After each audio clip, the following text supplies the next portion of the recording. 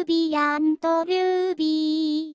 Halo yo what's up dah, ketemu lagi nih dengan gue Rubianto Ruby. Oke, kali ini gue kedatangan sebuah TWS nih yang lumayan eksklusif dari sebuah brand audio ternama yaitu Jabra Audio. Kali ini yang gue review adalah TWS yang peminatnya lumayan yaitu Jabra Elite 3. Oke, nggak usah lama-lama, kita langsung review aja ya. Tapi seperti biasa, Harap like dan subscribe channel gue serta follow akun Instagram gue di @rubianto underscore Oke, let's go. Link start. Oke, barang yang satu ini gue beli kemarin di official store Jabra. Pas event Pakan Raya Jakarta. Dengan harga spesial tentunya. Kalau kalian mau tahu harganya berapa, ntar aku kasih linknya di deskripsi.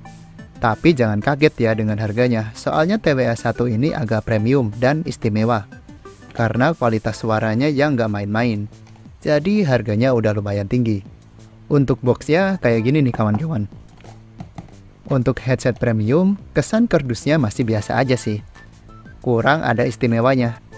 Tapi di sini ada banyak fitur yang ditunjukkan. Mulai dari 4 mic yang bisa bikin suara pas panggilan itu lebih jernih, Terus di sini headsetnya juga bisa dipakai mono mode, jadi bisa dipakai sebelah aja. Terus untuk TWS-nya di sini ditulis kuat sampai 7 jam. Dan untuk casingnya, baterainya kuat sampai 28 jam. Hampir seharian nih, lebih malah. Serta di sini ada fitur tahan air, sama debu, serta garansi 2 tahun. Di sini juga ada fitur yang gue suka nih, yaitu Qualcomm aptX Codex yang bisa bikin suara audio itu jadi lebih enak. Serta TWS ini juga didukung aplikasi yaitu Jabra Sound Plus. Untuk unboxingnya kayak gini nih kawan-kawan.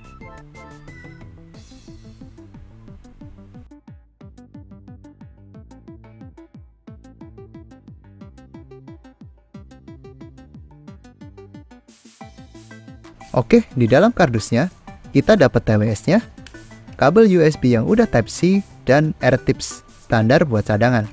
Serta ada kartu garansi juga. Oke, kita lanjut bahas TWS ya. Di sini unit yang gue dapet warnanya navy atau biru tua. Bahan casing dan TWS-nya masih pakai plastik ya, tapi kualitasnya udah bagus banget. Untuk kualitas case-nya, saat dipegang udah kokoh, pas digoyang-goyang juga gak ada suara kocak dari dalam, jadi TWS-nya udah nempel banget nih, udah nempel sempurna. Tapi masalahnya malah ada di tutup case-nya. Yaitu kalau gue pegang, rasanya itu kayak ada longgar dikit dan agak goyang gitu. Tapi ini malah jadi kelebihan buat ngegampangin buka tutupnya, jadi enak banget. Toh, pas udah dibuka TWS-nya, tutupnya juga langsung ngunci dan gak gampang ketutup sendiri. Untuk TWS-nya kayak gini, Bahannya plastik juga dengan tulisan Jabra di bagian luarnya. Pertama kali gue nyoba di TWS, gue kira TWS ini pakai touch control. Ternyata diriku salah. TWS ini ternyata masih pakai tombol yang menyamar kayak touch control gitu. Gue malah suka sih yang kayak gini. Gak ngeri, salah pencet kalau dipakai. Dan tombolnya ini juga presisi banget serta enak dipencet. Oke, kita lanjut aja fitur di aplikasi Jabranya, yaitu Sound Plus. Jadi TWS ini ada fitur aplikasi tambahan yang bisa kalian pakai buat atur si TWS agar suaranya bisa lebih bagus lagi.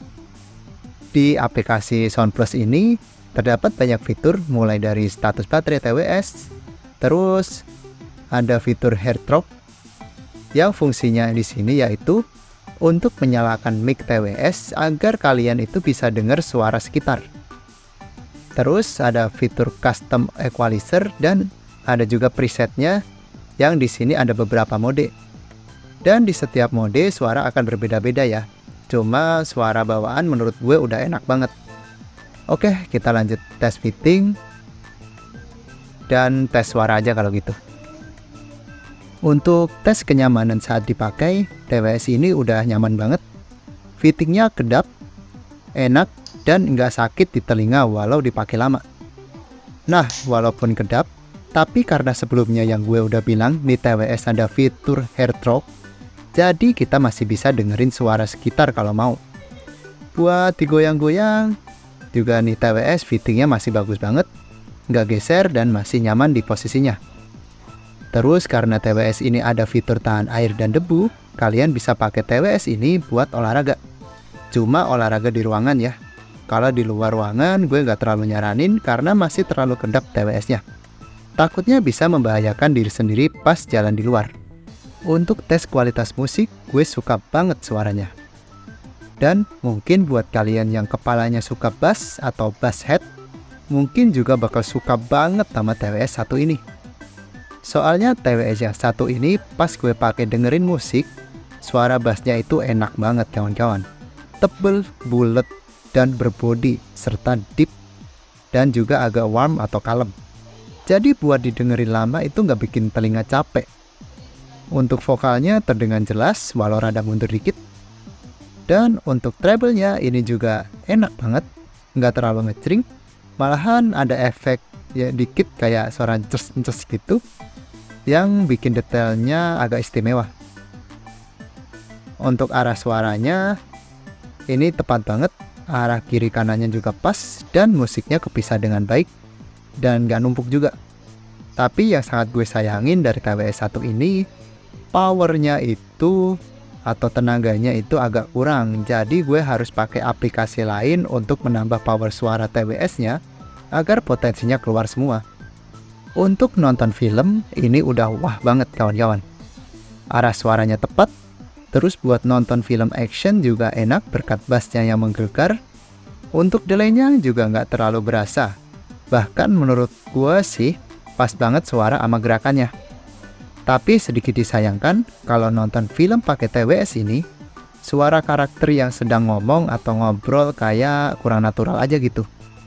Rasanya kayak lebih berat dikit, mungkin juga karena ini efek dari dominasi bass TWS-nya ya. Cuma ini nggak terlalu ketara sih. Ketaranya itu cuma pas karakternya ngobrol satu sama lain tanpa backsound aja. Untuk tes gaming, gue kurang recommended aja sih. Tapi bukan berarti jelek ya.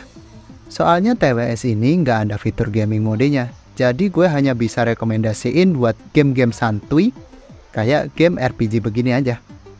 Kalau buat game yang bener-bener butuh timing, kayak game musik atau yang kompetitif, masih agak kurang aja.